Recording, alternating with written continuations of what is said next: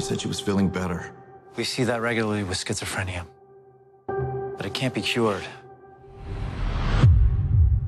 Okay. You hanging in there?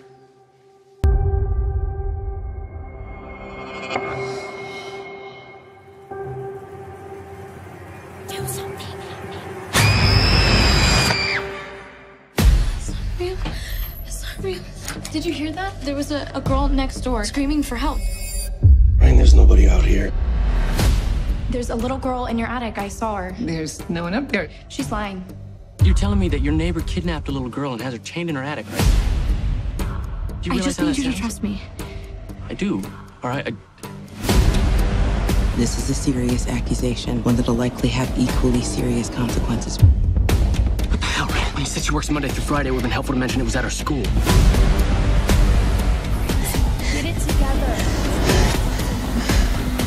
She's not real. There's no one up there. Your mind is just playing tricks on you. Your mind is just playing tricks on you. If you go over there, they will take you away from us. I don't care. What if it was me? I'm not just gonna sit here. No way!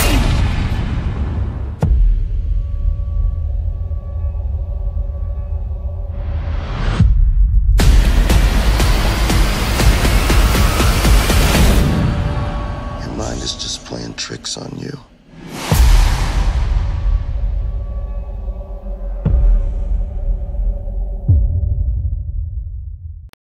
I don't know what to say. Whatever comes to mind.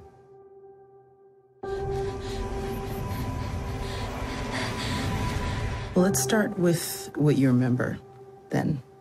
Do you recall anything? I was in the woods. There was a man chasing me and no one believes me.